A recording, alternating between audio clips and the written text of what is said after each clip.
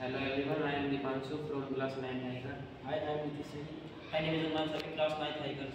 We have present a project topic mosquito repellent device.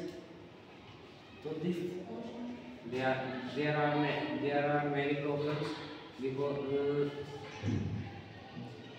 mosquito lining harmful for people. and this situation see uh, we have we make a project for mosquito repellent. This device is used to we disturb the mosquito by frequency. This frequency are harmful for mosquito, and this frequency are not harmful for people. So we have made and this project are cost very cheap, seventy rupees around.